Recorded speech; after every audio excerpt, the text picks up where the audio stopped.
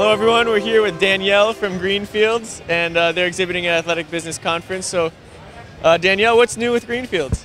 Well, Greenfields actually now has a woven product. Um, it's great for soccer players, actually naturally made for soccer players, developed after natural grass. And what it is, it actually gives a better ball roll for soccer players. Traditionally, we have tufted products where the turf leans. This product comes out of the machine standing straight up. So your ball is able to go whichever direction you send it.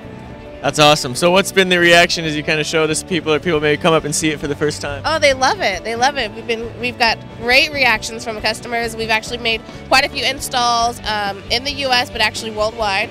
Uh, there's actually 17 Dutch Premier Soccer leagues that are playing on this turf right here, and so we've got nothing but great reviews from it. So we're really excited about it.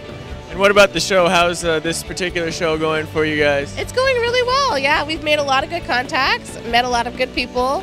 So uh, yeah, it's a really good show. This is our first time here this year, so we're excited to come back again. Great. All right, that's Danielle from Greenfields. Thank you very much.